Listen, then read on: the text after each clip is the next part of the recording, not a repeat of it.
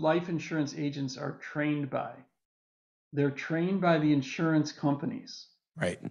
And I would guess that of all the life insurance agents out there, it is 5%, maybe as low as 1% of advisors who know what we're talking about today.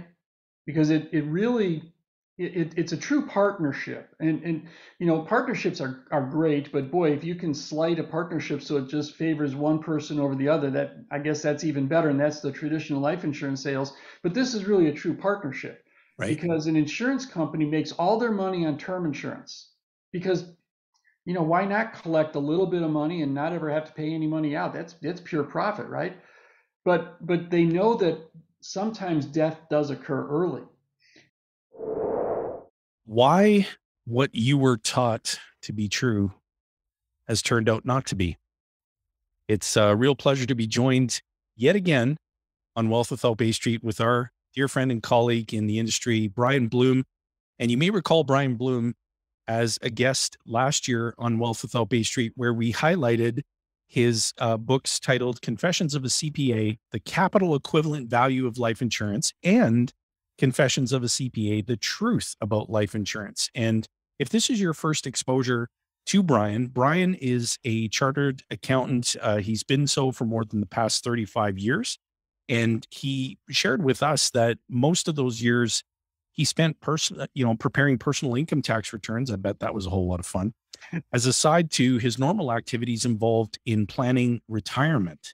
And early in his career, being the chief financial officer of the State University's retirement system of, of Illinois.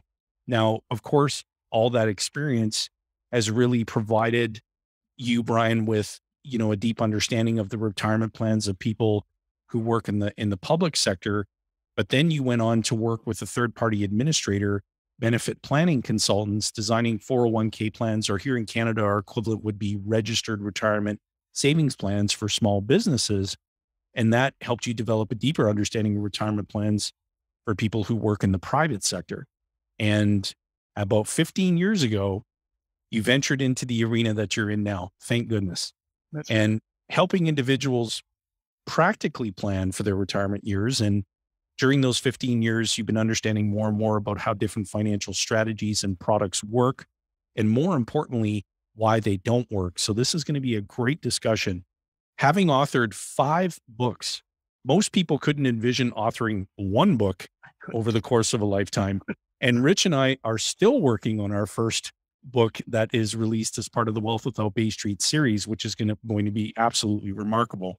And the Confessions of a CPA, we found that these books have been not only outstanding for chartered accountants who are being exposed to what we're about to discuss today, but also to existing clients who are asking their accountants about this process and about this financial tool. And their accountants are saying, geez, you know, I really don't have a deep understanding of it or not a high level of uh, expertise or familiarity.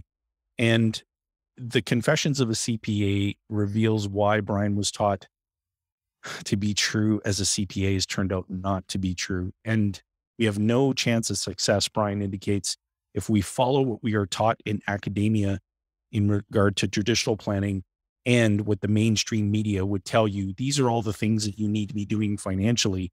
Well, how's that been working out for you? And together with his wife, Pam, he celebrates 40 years of marriage. Congratulations, Bryan, sincerely, and having two daughters and three granddaughters and a grandson. And certainly they are the joy of your life. And oh, yeah. So for you, you've said, hey, this is retirement for me. And sharing with people across North America now some of the financial realities in life that differ greatly from what you've uh, been taught to believe. So, Bryan, a sincere welcome. Thanks for being back with us on uh, Wealth Without Bay Street. How have you been? I've been great. It, just to play off what you just said in North America, I just found out two days ago that I had five book sales in the UK. Now, what? Figure that. oh, congratulations. That's Great. excellent. And we're super excited to announce, and without further ado, that you've also got a new book that's just been released. And the title, can, in, under the Confessions of a CPA brand, the title being Why What I Was Taught to Be True Has Turned Out Not to Be.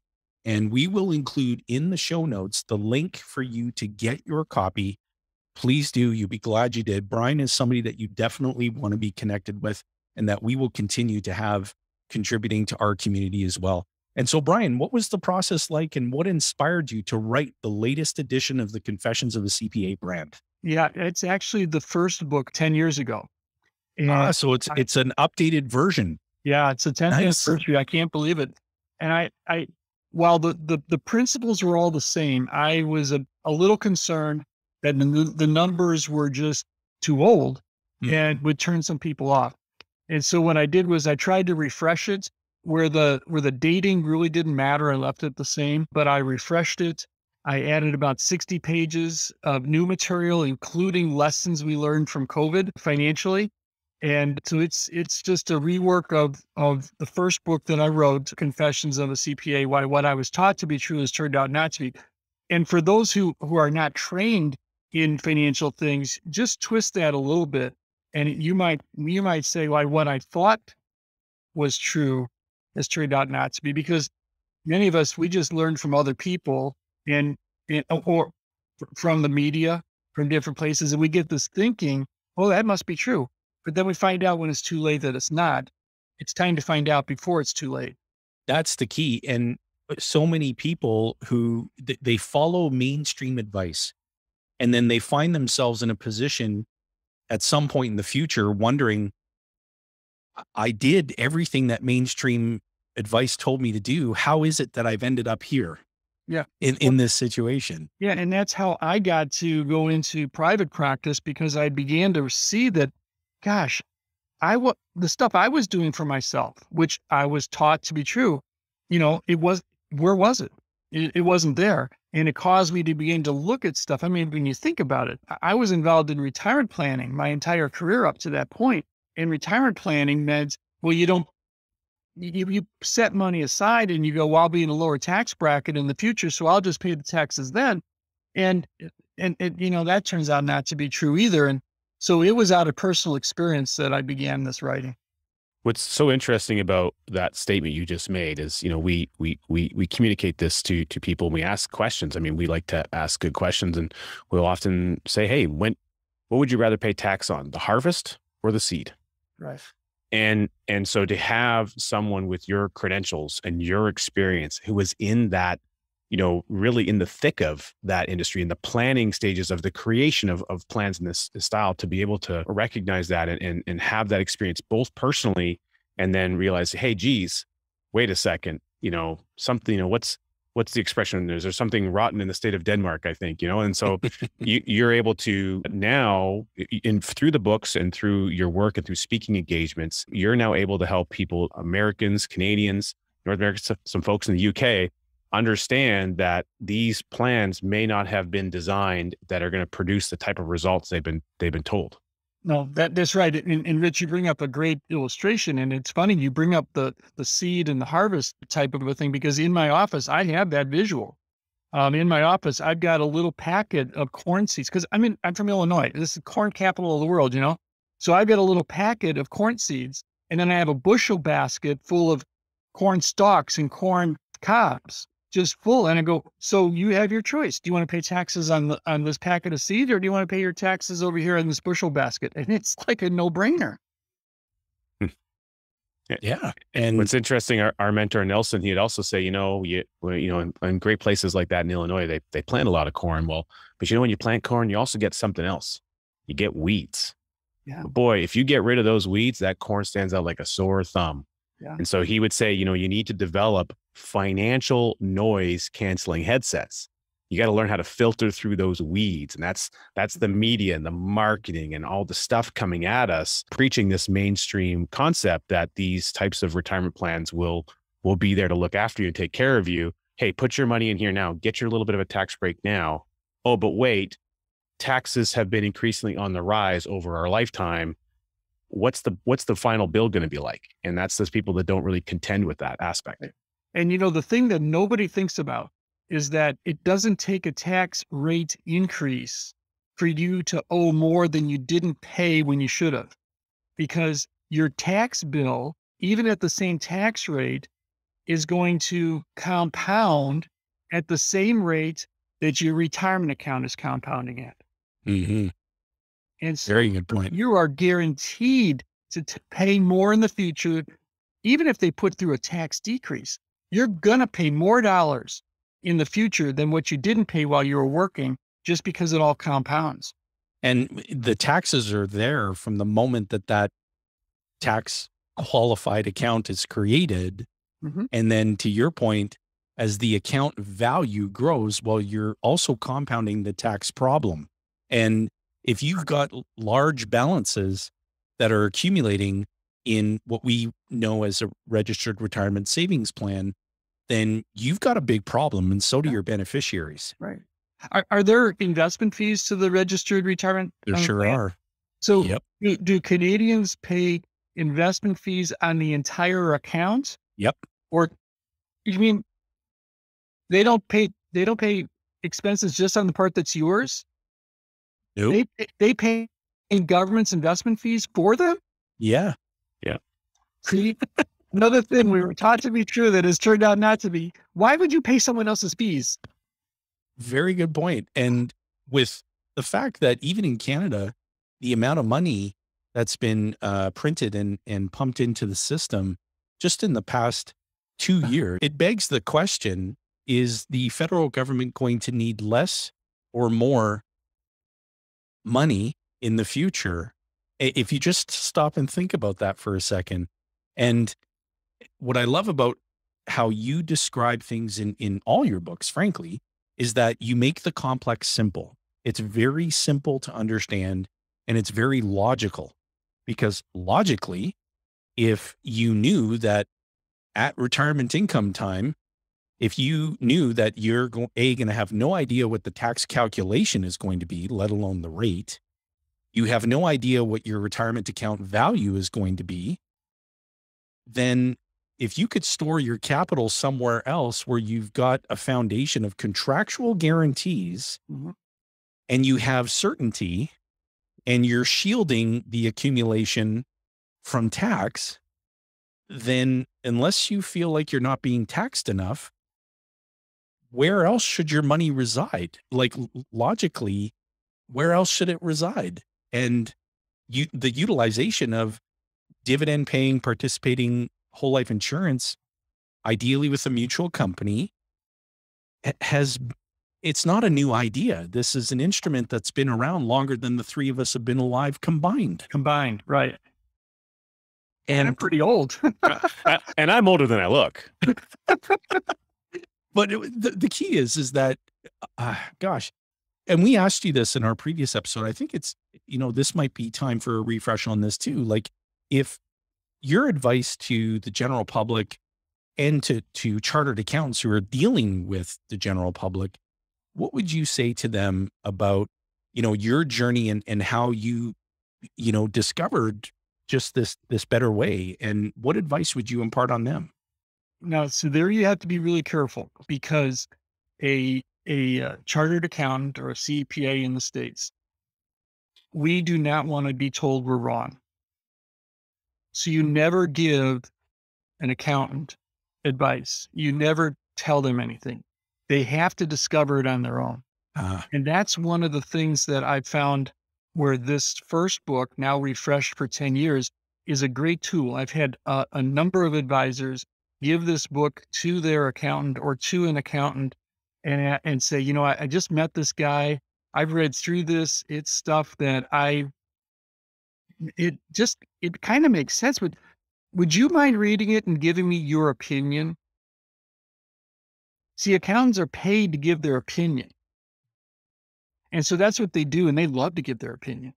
But it starts a conversation, and then in that conversation, you'll know whether that that accountant is someone that you want to continue to pursue a relationship with or not. Because they're either going to go, I mean, this guy's got something to say, or he's all screwed up, one of the two. And but it, you're just looking for a conversation starters with an accountant because they have to discover the truth themselves. You cannot tell them. Well, very very good advice I'm I'm glad you identified that, Bryan, because you know we work with entrepreneurs all over the country, and you know not just entrepreneurs, but we certainly work with a, a lot of entrepreneurs and professionals, you know, doctors, lawyers, etc., even accountants, professionals, and wonderful when they they really grasp onto what this concept, what the implementation of high cash value insurance, well structured, can do with for you over a lifetime as a source of working capital. And what I find is interesting is sometimes you run into some resistance or the entrepreneur themselves, they feel the tension of the resistance that they're going to run into because they're oh, going to run it by or they're going to have to have that conversation. They know in their heart of hearts what they want to do. They want to move forward and they want to implement the strategy for their business. They want to implement it for their family, but they don't know how to make that conversation happen with their with their their professionals that are working with them and, and helping them and that and, and the professionals there to, to assist them and so uh, i find that it, it can create a little bit of a rift from time to time mm. but those professionals those those accountants who are open and ready to willing to learn man what an incredible connection is made between that their client and them mm-hmm. now that they're embarking on this journey together and they get to collaborate with someone like ourselves as part of that discussion where we can have a well-rounded view good strategy sessions about how that business owner can now move their life forward and actually obtain the things they're looking to obtain. Yeah, and, and remember, life insurance is is not the strategy.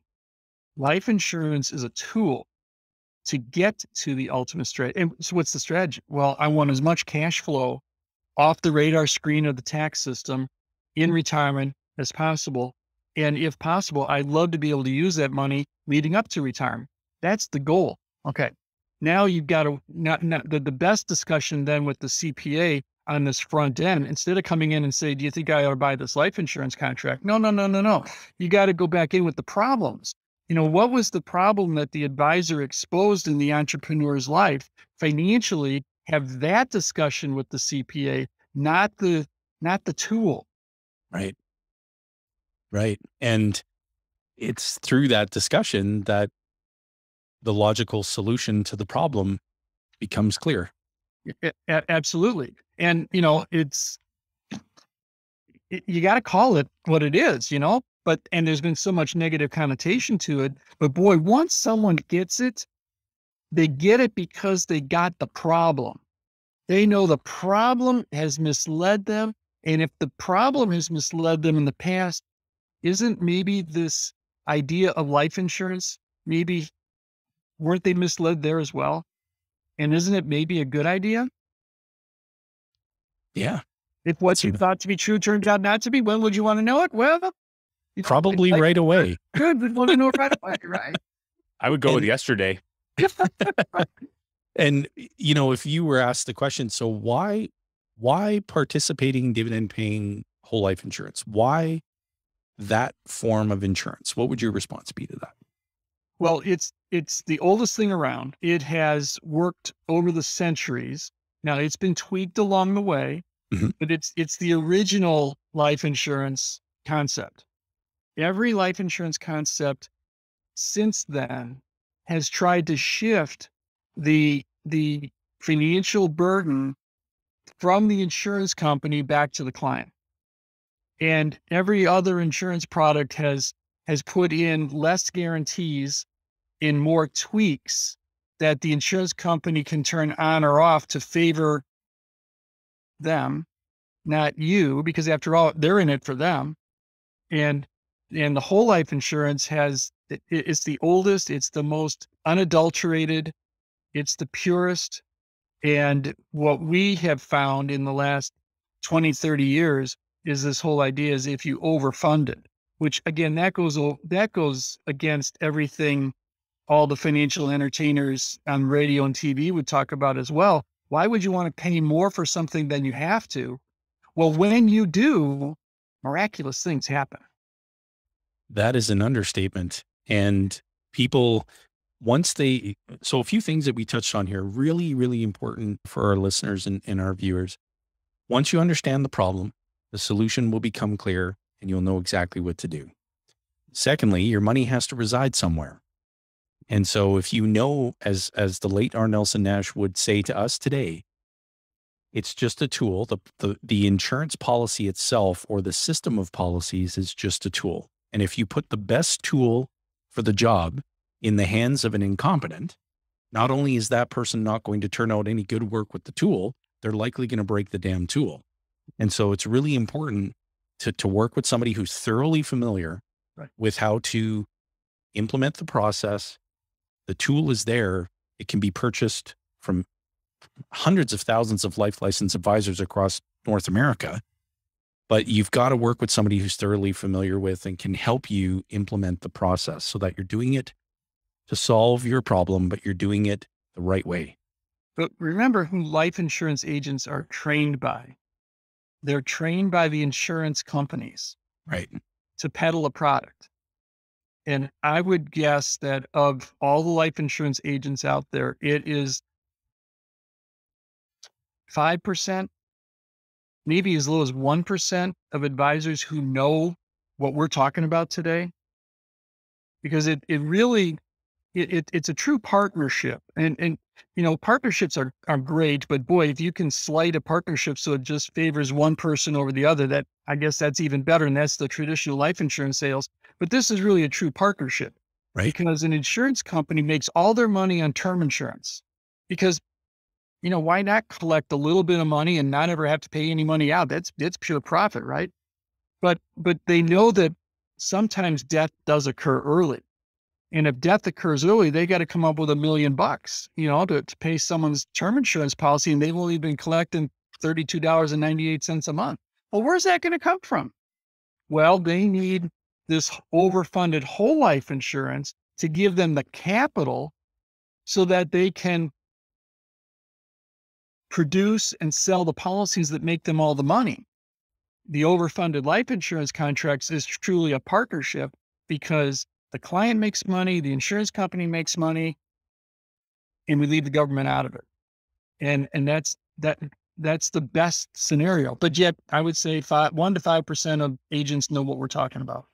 Well, and I would imagine that in your experience, which is is quite vast, and now in the type of planning that you do, you also probably bump into folks in the in the industry who you know maybe they've or you, you see someone who's had a policy uh, or a bag a bag of policies put together which is often the case and there there there's there's a different hodgepodge and mishmash of them and even ones that you know maybe well intended that were set up you know for the purpose or the the the thinking process that we're talking about today and they still lack optimization or they lack some refinement around the edges to really make them as functional as they could have been with just a little bit of extra training, a little bit of extra coaching for that advisor at the beginning on the onset of the creation of that policy. Is that something that you've experienced, Bryan? Oh yeah, I and I I keep learning different tweaks. I mean, I just learned a tweak on Monday that I that was like light bulbs going off in my head in regards to how do you tweak this to really make it work. So you're always learning the tweaks, and you know, unfortunately, there's there's not a lo- lot of longevity in our industry. I mean, I don't know what the average lifespan of a life insurance agent is in terms of being in the business, but it's not long. It's, it's less than five years. Yeah. And so you've got well-intentioned people that that go at it for three, four years, and then they leave the business. What happens to those clients? Well, someone else comes in that may not be from the same persuasion in regards to strategy and from product, and they gobble that up, and all of a sudden you've got something that's poorly designed and not what was originally intended. So important to work with somebody who's thoroughly familiar. And, and what we're describing is we're talking about dividend paying, participating whole life insurance, ideally with a mutual company, and making sure that the policy is designed to achieve the objective, to solve the problem. So you've got to get clarity on the problem first. You can't start with the solution first without developing uh, an acute understanding what the problem is. And that that's part of our process and what we work through. And we utilize resources like your books, Bryan, to help people rethink their thinking. And more importantly, to help people develop the ability to rethink their thinking. It's one thing to say it, it's a whole other thing to develop the ability to actually do it. And oh, I'm sorry, go ahead. No, I was just going to say that again, this is the the the whole idea of putting capital into one of these types of of policies and the whole idea of being able to borrow against that accumulating value is nothing new. But what authors like yourself, authors like the late R. Nelson Nash, who authored the book titled Becoming Your Own Banker, Building Your Warehouse of Wealth, etc., being blessed beyond the definition of good fortune to be mentored by him for so many years, he really helped us to develop the ability to rethink our thinking.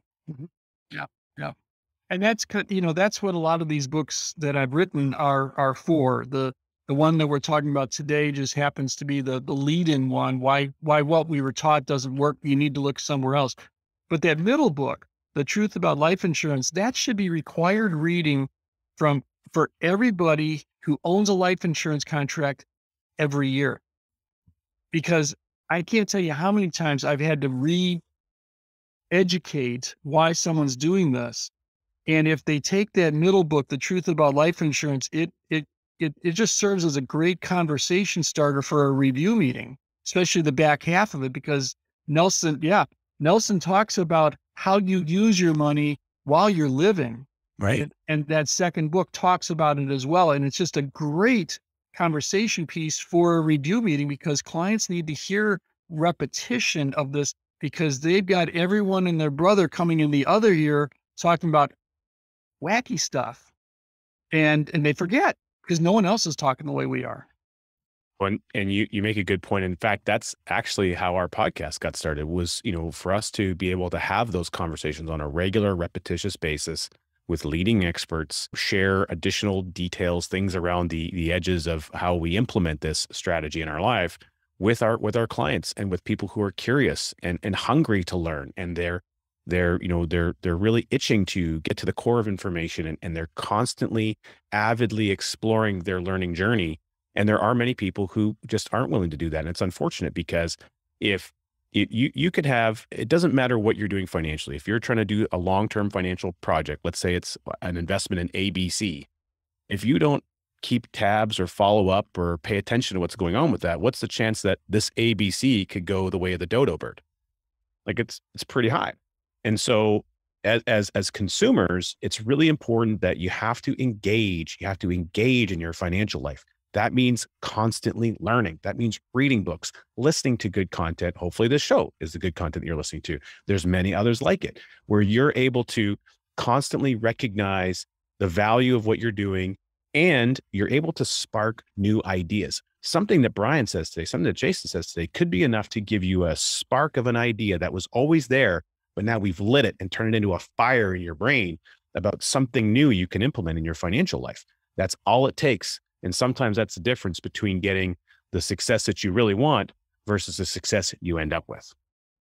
That's a really good point, Richard. And, you know, uh, for the both of you, I mean, we know so many examples of people who have utilized the tool to implement a process or to solve a problem, to, you know, implement a strategy I was just in a call earlier today with a few colleagues.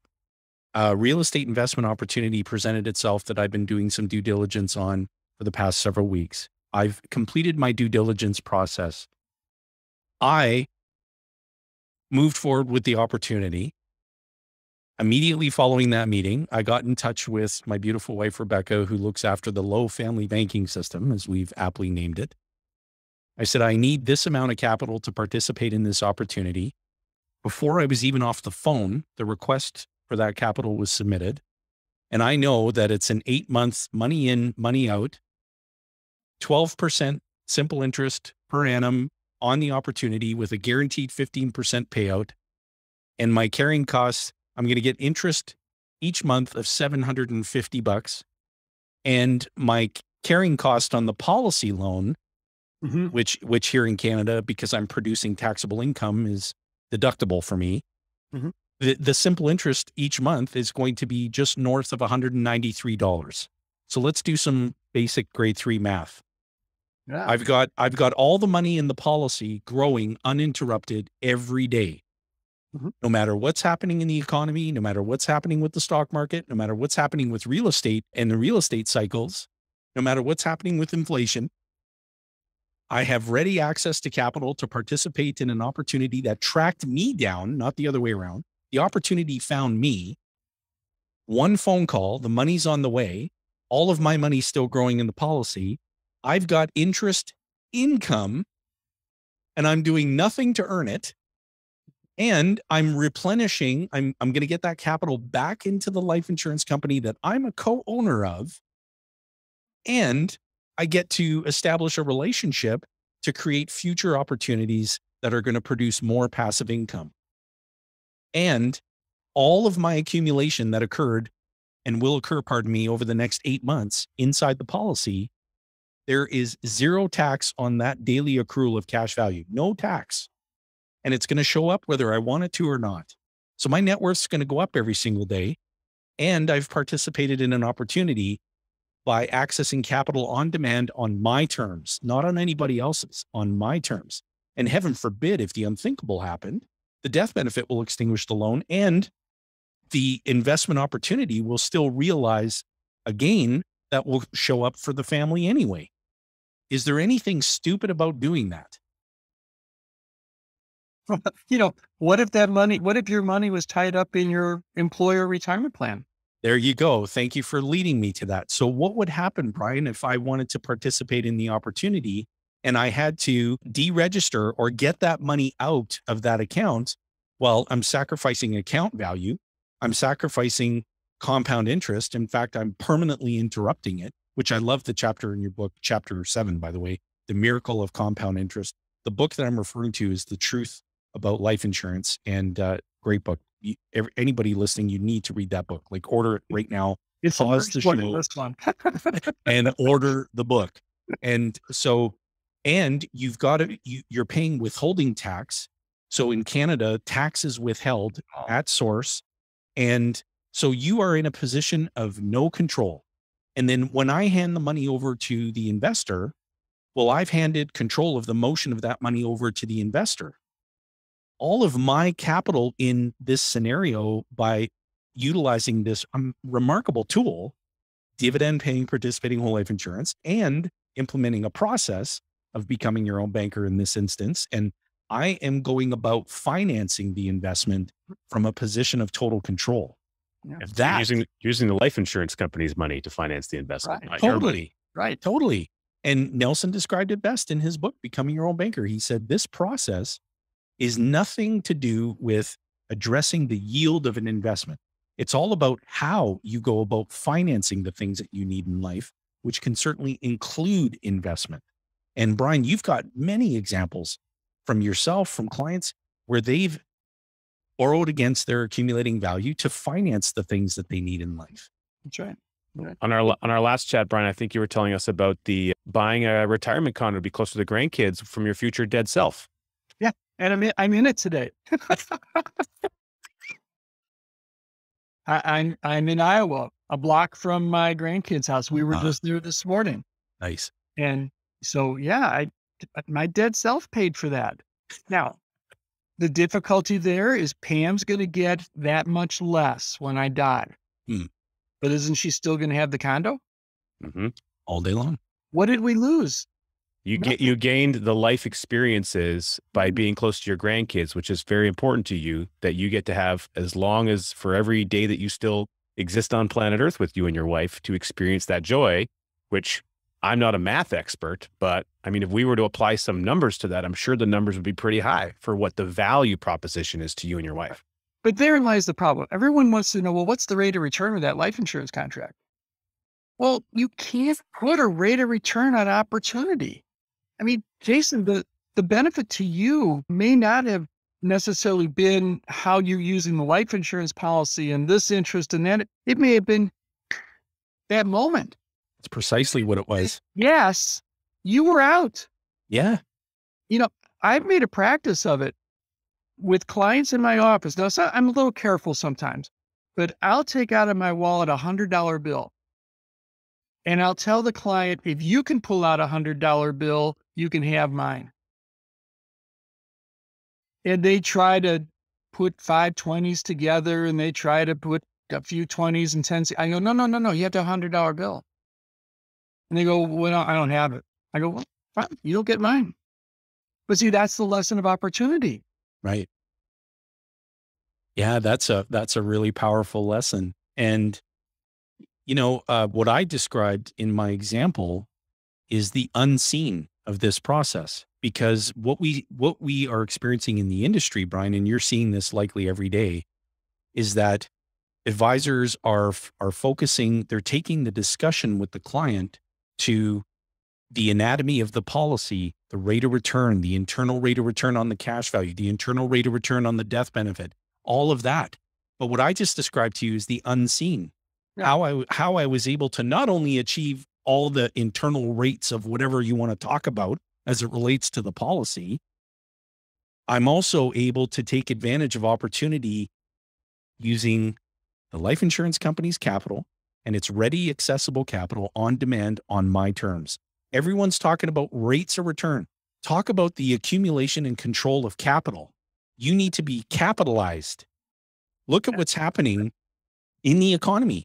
When the economy decides when the, the basically when the wires snap and, and the gondola falls right off of Mount Everest, there's going to be a ton of opportunity and I'm I've got ready access capital to pounce on it.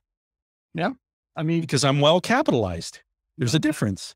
That that's exactly right. And and you know, I saw what happened in March of 2020 and the stock market just nosedived. And I looked and I go, you know, Disney's not going away. The airlines will fly again. Marriott's will will will start having guests again. Yep. Yet their their stock price has plummeted 70, 80%. Well, guess what? My dead self bought some of that stock.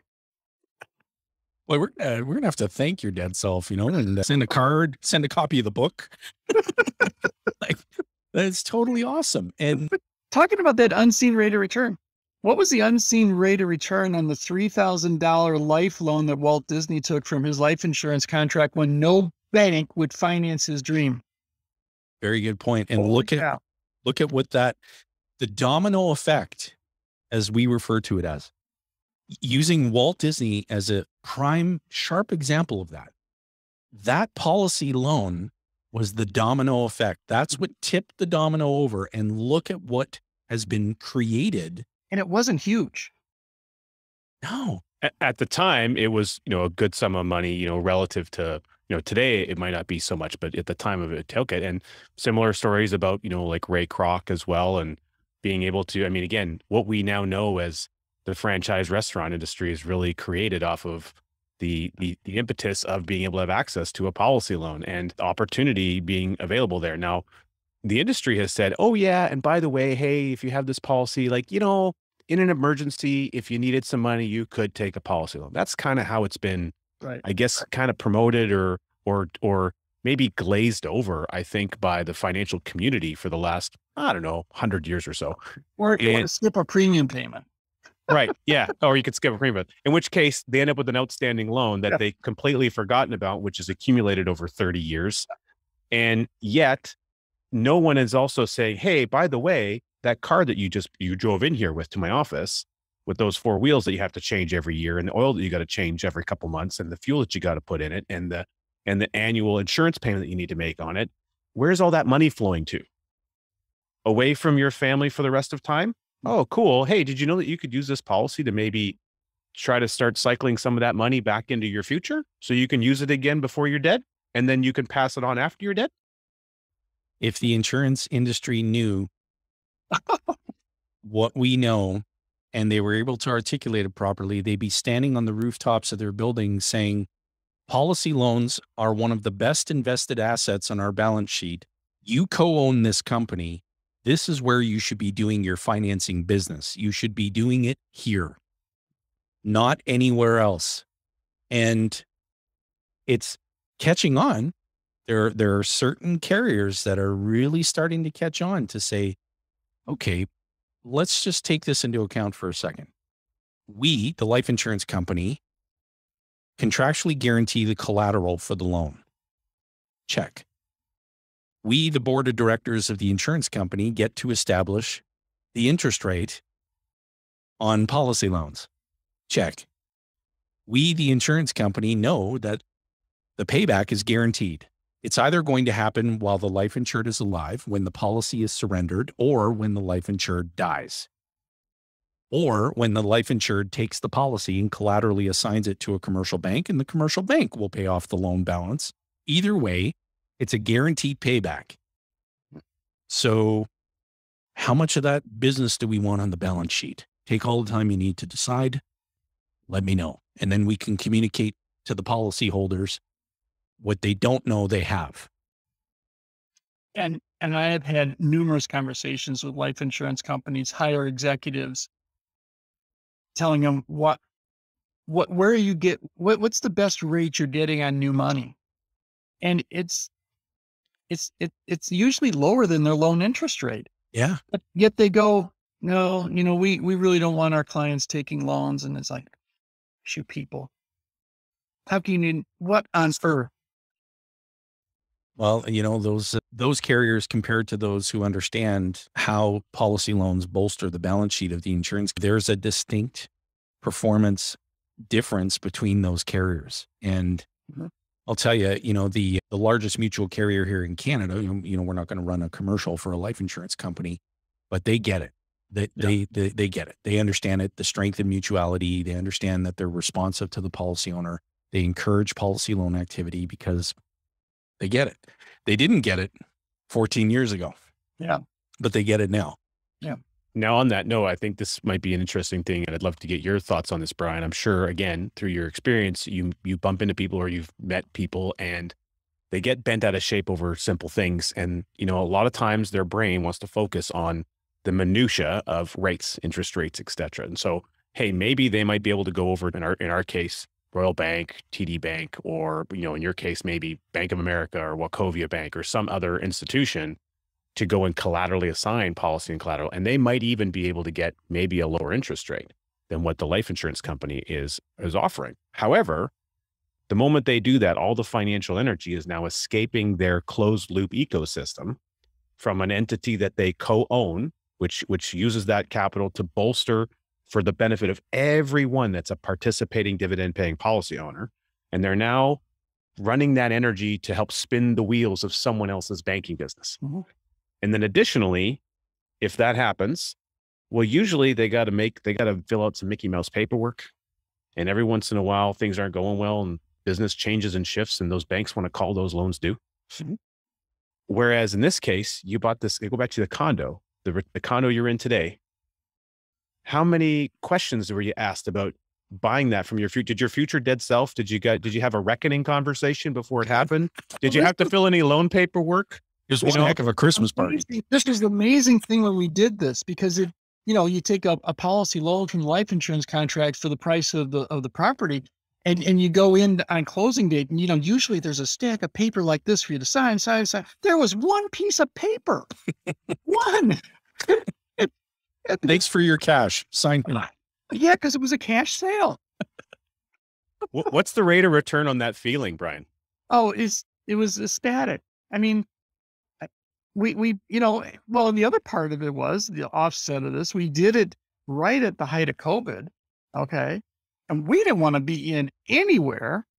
And so we go into this closing company. We're out in a minute and a half. I've never, you know, outside of having experienced that personally as well, you talk to anybody who goes to a closing and they leave, they leave with half a migraine going, Oh my God, like, well, what did you sign? Do you recall everything that you signed? No, you would spend three months reading it all. Right. And it, what better position to be financing something from than a position of total and absolute control? It, it just creates a very peaceful, stress free way of life. Yeah. And you don't look stressed to me, Bryan. Well, I know the the only paper I remember from previous mortgage situations that I signed, it was a piece of paper that said that of all the papers I signed, if in chance they made a mistake, I was signing, letting them make a change to what I had already signed without having to re-sign them. wow. Uh, Unbelievable. Uh, and you know, um don't worry, the banks are out there to look after us, right, Bryan? That's right. That's right. What's interesting, Bryan, is that through this period of uh, you know global pandemic and what we've been dealing with with COVID, we've had, and I'd love to hear your insights on this too. We've had so many clients reach out to us to share examples of how they felt shielded from it because they they were able to access capital I have a, a, client who's a chiropractor who had to literally shut down his practice because nobody was permitted to really go anywhere during periods of lockdown. Right. And he said, you know, without having ready access to money from the life insurance company, I would have had to do the unthinkable. And that kept them going. I have a client who's a dentist who said, I paid off the remainder of my practice just to get it out of the way, knowing that, look, we're going to get through this pandemic and I want to come through this just without any stress, without any anxiety. And I decided to get rid of it. Other clients are saying I kept people employed through this time frame. I kept my doors, you know, not open to the public, but I kept my doors open, so to speak, and didn't have to shutter the business as a result. Right. And that that to us in when times are good, the tool is remarkably good. When times are bad, the tool is remarkably good. Yeah. So for anybody listening to this, if you didn't have that experience the last couple years and you lost your business or you had to lay people off, people you knew and you loved, but you had to lay them off, fix it for the next time. There you go. See the, the people who who survived this time, they learned this lesson in 08. And in 08 in the States, when banks just wouldn't lend money anymore, so many businesses couldn't buy their inventory. So many businesses couldn't make payroll and they closed in 08. Now, those folks got the message and they prepared for the pandemic. Now, if you weren't prepared for the pandemic, get ready for the next one now. Don't hesitate. Jason talked about capitalizing, getting yourself capitalized. Get started now and you'll you will soar with the eagles next time this happens because it will happen. Because remember, prior to 08, it was 00. That's right. Mm, and the people who who who lost it all in 00, they figured it out and they survived 08. Prior to that, it mm. was Black Monday, 1987. That's right. So so don't let this disastrous opportunity go to waste. Learn from it and get capitalized the way Jason and Richard are talking about because this is what's going to save you the next time. Such good advice. Thank you so much, Bryan. Bryan, it is always a pleasure to be with you, and we will have you again. I promise you that. And for all of our listeners and viewers, be sure to get your hands on a copy of Bryan's latest book, the link is right above the fold, just in the description there if you're on the YouTubes. And make sure that you pick up a copy, get a copy for someone who you think would benefit from the gift of Bryan's knowledge and wisdom. And uh, Rich, any any other remarks that you'd like to share before we take it home? Well, I'm I'm all good. I just enjoyed it thoroughly, and I'd love to just you know give Bryan the chance to to close us out with his final thoughts and anything of value you think you could share with our community of listeners. And what what would your what would your final takeaways be as uh, we're recording this here in Q1 of 2022? Yeah. So some people have difficulty reading a nonfiction, like all my books are. So book six is coming, and it's it's a fictional it's a fictional account there's a professor in a Midwestern university, a dean of students or a dean of finance who was found murdered. And the finance professor who ascribes to all of this traditional stuff has to work with the student who questions everything, who has an uncle who understands the stuff we understand.